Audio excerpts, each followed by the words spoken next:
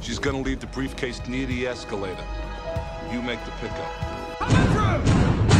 Just doesn't make sense. I left the money exactly where they instructed me to. Who the hell you figure this guy's working for anyway? I don't know. We sure as hell better find out. What's with the briefcase? I drove her to the airport. She left this in the terminal and flew to Aspen and out of my life. Look, man, all these jokers have got a lot of money and it belongs to me. Move it or lose it, sister! Here's the plan. We borrow a few bucks, just a small loan from the briefcase, and we find ourselves some reasonable lodgings.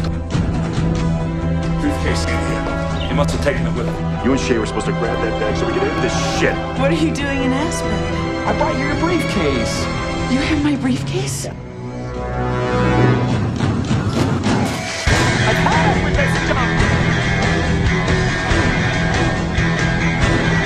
the rightful owner of that briefcase you've been carrying around.